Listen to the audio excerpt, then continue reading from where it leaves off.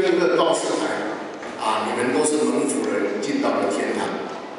可是，请你到这边来领取你的交通工具，来领取你的交通工具，好到里面去。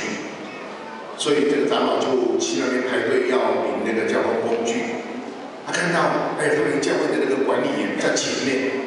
哦，他看到他看到他的认识，那又是我们教会的管理员。他看到底他领什么交通工具？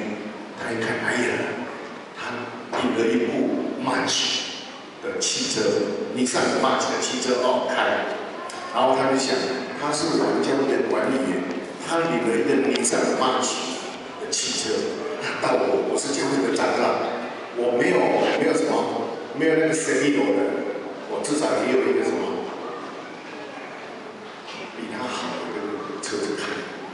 等等等，等到他要领的时候，啊，他就跟他报，我是某某某长，哦，名车对接好，你去那边领你的交通工具在那边，看一看是什么，脚踏车，哦，他就很，你那一讲很不准，那个管理员他可以开车，我长老，我只那个什么祷告会我要带领，然后看完我要带领，竟然都叫我去领那个脚踏车。哦，他真的真的是心情很不好，那也没办法，还好还还是能够进天堂啊。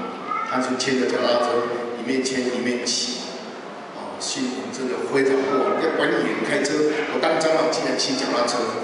可是过一阵子，哦，他突然间心情放轻松了，很老爷子笑，因为他在骑脚踏车脚踏车的时候，看到他教会牧师那个右走的。